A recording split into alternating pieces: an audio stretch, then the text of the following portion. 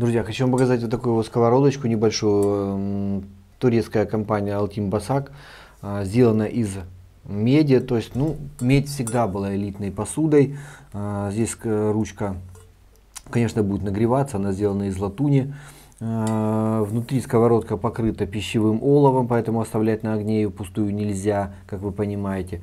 Ну и э, сама посуда почему считается очень дорогой и элитной, поскольку очень хорошие свойства теплопроводные самого металла, как медь как металла, поэтому, ну, в общем-то, соусы получаются непревзойденные. Ну и каждый ресторан, каждый э, уважающий себя ресторан в мире имеет обязательно комплект медной посуды для приготовления пищи для э, почетных гостей. Спасибо.